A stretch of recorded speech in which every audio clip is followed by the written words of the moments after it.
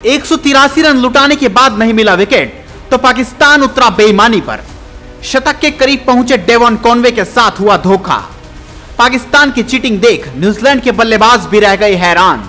पाकिस्तान के खिलाफ सलामी बल्लेबाज डेवन कॉनवे और टॉम लेथम ने न्यूजीलैंड टीम को बेहद ही शानदार शुरुआत दिलाई। 26 दिसंबर से पाकिस्तान और न्यूजीलैंड के बीच खेले जाने वाली दो टेस्ट मैचों की सीरीज़ की शुरुआत हो चुकी है। कराची के नेशनल स्टेडियम में जारी इस मैच में पहले बल्लेबाजी करते हुए मेजबान टीम ने ऑल आउट होकर 438 रन बनाए। जवाब में की टीम के सलामी बल्लेबाजों ने टीम को शानदार शुरुआत दिलाई। इसी बीच कॉनवे के साथ पाकिस्तानी टीम बेईमानी करती नज़र आई। आइए जानते हैं क्या है पूरा माजरा। पाकिस्तान और न्यूजीलैंड के बीच खेले जाने वाले दो टेस्ट मैचों की सीरीज़ की शुरुआत में मैच में टॉस जीतकर मेजबानी टीम ने पहले बल्लेबाजी करने का फैसला किया। पहले बल्लेबाजी करते हुए बाबर आज़म की टीम ने ऑल आउट होकर 438 रन बनाए। जवाब में डेवन कॉनवे और टॉम लेथन ने न्यूजीलैंड टीम को बेहद ही बेहतरीन शुरुआत दिला दी। कीवी टीम की सलामी जोड़ी ने शतक की साझेदारी करते हुए एक रन बनाए। इस दौरान पाकिस्तानी टीम एक एक विकेट के लिए तरसती हुई नज़र आई, जिसके बाद उन्होंने सरेआम मेहमान टीम के साथ बेईमानी शुरू कर दी।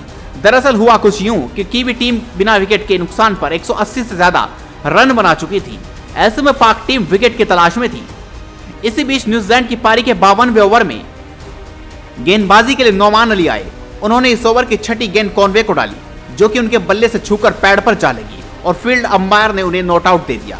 फ़ील्ड अंपायर के फैसले से असहमत होकर सरफराज ने एलबीडब्ल्यू की अपील कर दी और डीआरएस ले लिया। रिव्यू में साफ़ देखा गया कि अल्ट्राएज में हरकत हुई थी, हालाँकि इसके बावजूद भी कॉनवे को आउट घोषित कर दिया गया। पाकिस्तान टीम की बेईमानी कैमरों में साफ़ कैद हो गई। हालाँकि वहीं कुछ लोगों का मानना है कि कॉनवे के बल्ले पर गेंद नहीं लगी थी, और वे आउट ही हैं। डेवन कॉनवे ने बानवे रन बनाए और टॉम लेथम ने 113 रन बनाए। पाकिस्तान की टीम के मुकाबले में वापसी होती नज़र आई।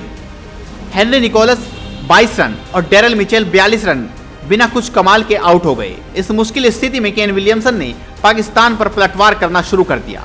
उनका साथ निभाते हुए टॉम बलंडन ने भी सैतालीस रन की महत्वपूर्ण पारी खेली। दिन के अंत तक केन विलियमसन ने 222 गेंदों पर 105 रन बना दिए, जिसमें 11 चौके शामिल थे। अब न्यूजीलैंड की ओर से दो रनों की बढ़त के साथ केन विलियमसन और इस सोडी पारी की शुरुआत करेंगे। Bureau report headlines sports